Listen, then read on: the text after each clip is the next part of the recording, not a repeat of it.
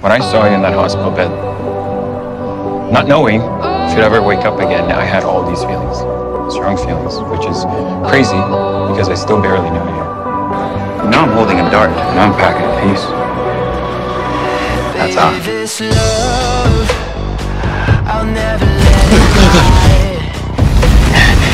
Hey, it touched by no one. I do like people to know you're mine. I like to see them try. Create some more space in your closet. Sorry for the misunderstanding. Well, then I think we should come to the hospital. There for your touch, Brad lost Tiger. Maybe we should. I'm gonna I make found an incredible man who don't tell me showed me that it is okay to open up my heart.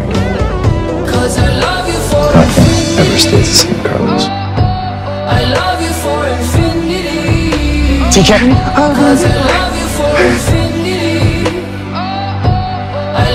love you for infinity.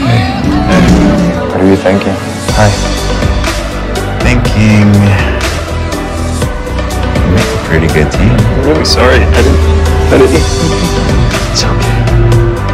You really do, don't I? I didn't think we were going to make it out. Right, so. I love you too. We're okay.